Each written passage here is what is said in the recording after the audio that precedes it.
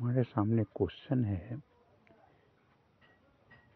the value of sigma M equal to N to N tan inverse two M by M to the power four plus M square plus two is option A है tan inverse N square plus N option B है tan inverse N square plus N plus one by N square plus N plus two option C है tan inverse N by N plus one और option D है tan inverse N square plus N by N square plus N plus two मतलब इन चार option में कौन सा option correct है, हमें पता करना है।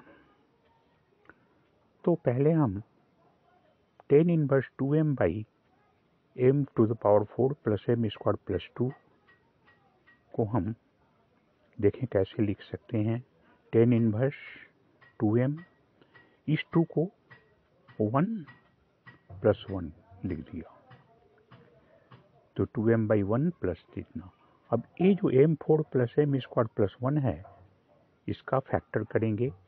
एम फोर को एम स्क्वायर का whole square plus two M square into one plus one square यहाँ पे हमने टू एम स्क्वायर लिया है। लेकिन यहाँ एम स्क्वायर है। इसलिए एक एम स्क्वायर माइनस करना होगा।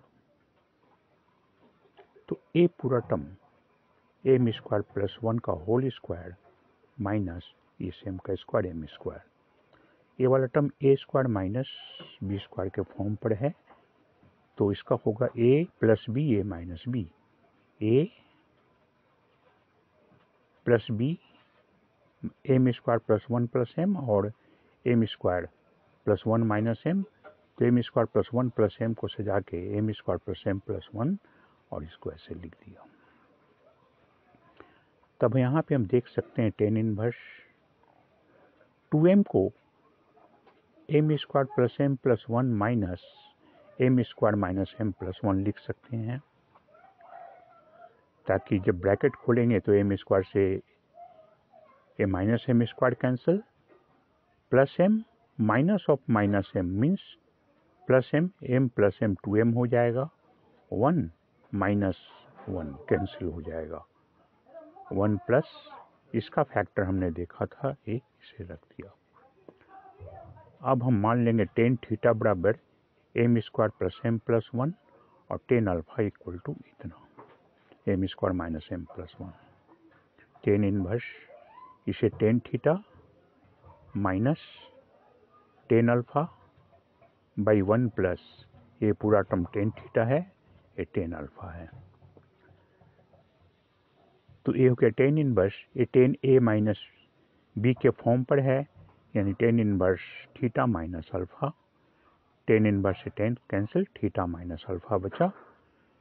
थीटा बराबर होगा टेन थीटा बराबर इतना था, इसलिए थीटा बराबर tan inverse M square plus one M square plus M plus one minus alpha बराबर टेन टेन इनवर्स दिस तो समेशन ऑफ़ इस्टम बराबर समेशन ऑफ़ इस्टम की वैल्यू हम इतना देखते हैं, इसका इसका।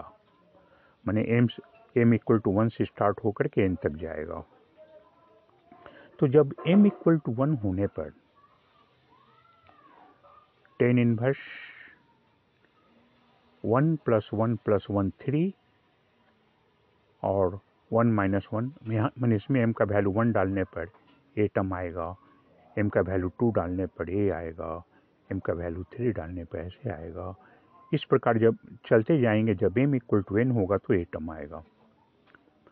अब यहाँ पर हम देखते हैं कि ए डायगनली आगे वाले टर्म का फ़र्स्ट टर्म बाद वाले टर्म का नेगेटिव टर्म आगे वाले टर्म का पॉजिटिव है नेगेटिव ये पॉजिटिव है नेगेटिव कट रहा है। तो यहाँ पर ये जो नेगेटिव है, इसके आगे यहाँ पे भी तो पॉजिटिव आएगा, जिससे कैंसिल हो जाएगा। इन सबको अगर हम सम करें तब तब हमें सम करने पे क्या बचेगा? Tan in inverse M square plus one ए बचेगा और ए minus tan in inverse M बचेगा। मतलब इसका जो सम होगा को tan inverse N square plus N plus one minus tan inverse one होगा। ये tan inverse X plus tan inverse X minus tan inverse Y के फॉर्म पर है।